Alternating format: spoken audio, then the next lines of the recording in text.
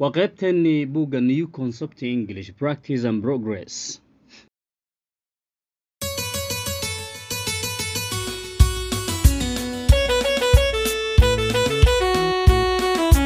Asalaamu calaykum waraxmatullaahi wabarakaatu welcome back to english with sosman official channel. Passage 24 waa sheekadii afar iyo labaatanaad ee buugga new concept english practice and progress. Waxaa ciwaankanaga ah it could be worse waa ay ka sii dari kartaa ama way ka sii xumaan kartaa. It could be worse. I entered waxaan galay the hotel manager's office xafiiska maareeyaha hotelka and sat down waana fadhiistay. I had just lost waxaan hadda lumiyey fifty pound lacag konton oo ingiriisiga ah and i felt waxaana dareemay very upset. Aad baan u carooday. I left waxaan kaga tegay the money lacagta in my room. Qolkeyga i set ayaan dhahay. And it is not there now haddana halkaa ma taalo the manager maamuluhu was waxa uu ahaa sympathetic mid beerjele. But laakiin he could do nothing waxba ma uusan samay karin everybody is losing money these days. Cid walba ama qof walba waxa uu luminayaa lacag maalmahan ama khasaarinaya he said ayuu dhahay. He started wuxuu bilaabay to complain inuu ka cawado about wax ku saabsan this wicked world adduunkan xun. But laakiin was interrupt waxaa soo dhex galay ama arbushay by a knock at the door. Qaraacis albaabka la soo qaraacay girl came in gabar ayaa soo gashay and put waxayna dhigtay an envelope boqshad on his desk miiskiisa. It contained waxay ka koobneed fifty pound lacag konton oo pound ah. I found waxaan ka soo helay this tani outside dibadda ama bannaanka this gentleman's room. Ninkan akhyaarka ah qolkiisa she said ayay tiri well hagaag i said to the manager ayaan ku dhahay maareeyihii ama maamulihii. There is still some honesty. Weli xoogaa daacadnimaha ayaa ka jirto in this world adduunkan. Passage 24 sheekadii afar iyo labaatanaad it could be worse ayaa ciwaankanaga ah. Waa ay ka sii dari kartaa ama waa ay ka sii xumaan kartaa? I entered waxaan galay the hotel manager's office xafiiska maareeya and sat down waana fadhiistay i just lost fifty pound waxaan lumiyey. Konton pound oo lacagta poundka ingiriisiga ah. And i felt waxaana dareemay very upset. Aad baan u xanaaqay calishaan. Upset means distress ama anger exactly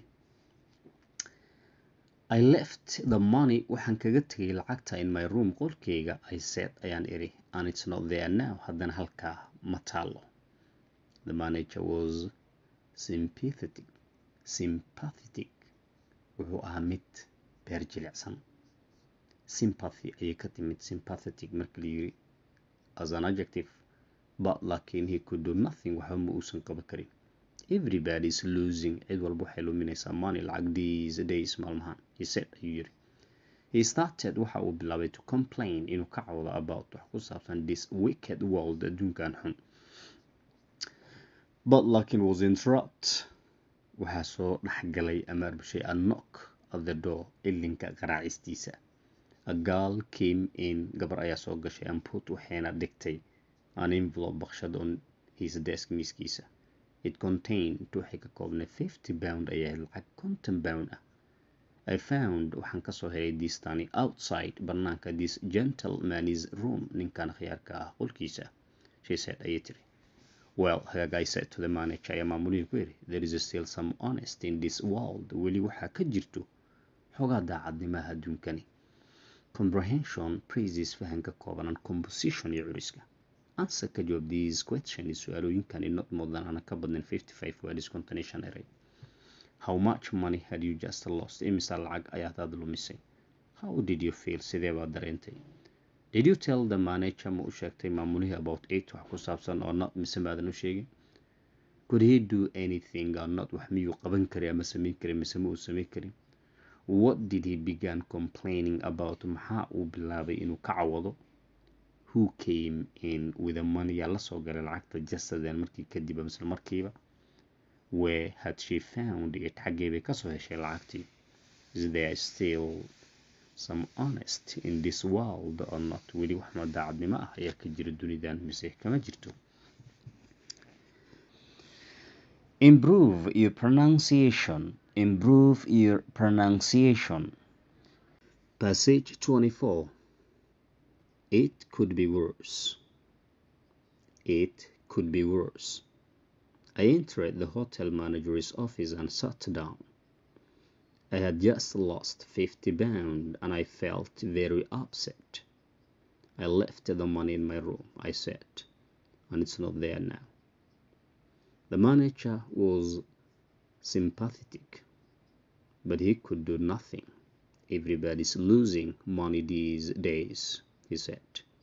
He started to complain about this wicked world, but was interrupted by a knock at the door.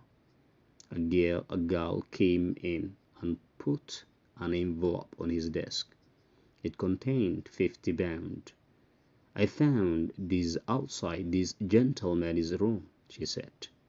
Well, I said to the manager, there is still some honesty in this world. Comprehension, praises, and composition. Answer these questions in not more than 55 words. How much money had you just lost? How did you feel? Did you tell the manager about it or not? Could he do anything or not? What did he begin complaining about? Who came in with the money just then? Where had she found it? there's still some honesty in this world or not. Thanks.